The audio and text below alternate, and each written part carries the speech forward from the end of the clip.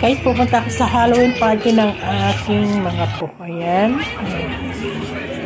Pakikita kong isi-share sa inyo yung Halloween party nila. Iba-ibang mga costume na suot ng mga bata. Tignan po ninyo. Ayan po sa kanilang school. Nagbibigay po ng candies yung mga staff sa mga bata.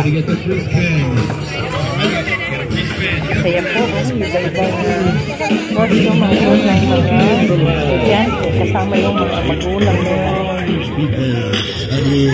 Napakaingay lang po dahil sa dami ng tao.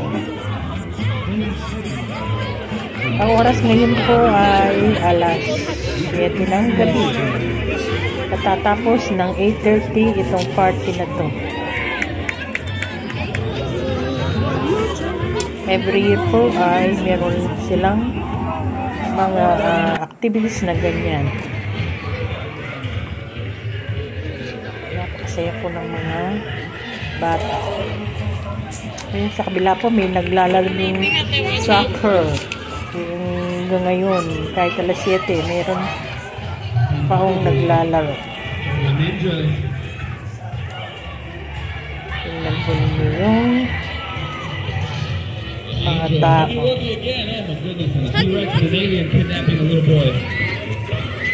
Iba nag umuwi na.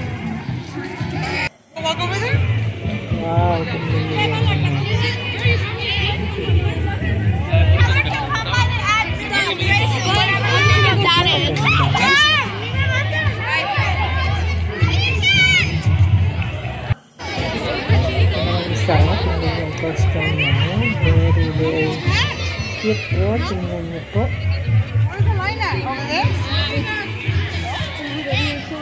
Dito na makagilap yung mga puko. Nasa iba-ibang ano na.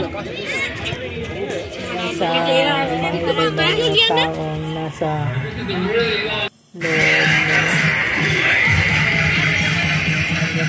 Thank you so much. Hanggang dito lang. Bye-bye.